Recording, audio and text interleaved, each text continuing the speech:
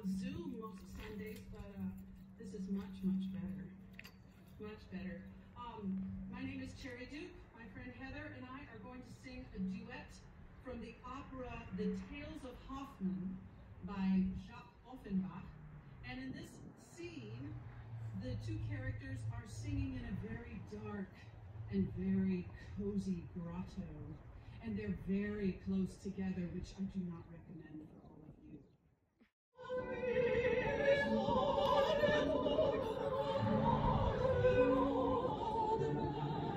Whoa!